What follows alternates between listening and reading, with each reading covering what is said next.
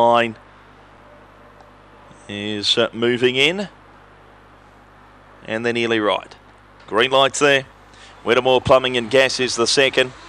400 the distance. Pat Malone, box three, the fave. Racing. Winning the start, Trailblazer. Pat Malone quickly into stride, going forward. Ringcraft with Little Dynamo. Deeper out, Dyna work with Manarola, followed by What's Up Skip, and last was Hartley Maddle. On the side, it's Pat Malone. He's four lengths in front at the moment of Dyna Worker, then Trailblazer. What's Up Skip, but Pat Malone, he's out and clear of Dyna Worker, who's running on Pat Malone. On his Pat Malone, he bolted in. He beat Dyna Worker, Ringcraft, What's Up Skip, and Trailblazer, then Manarola.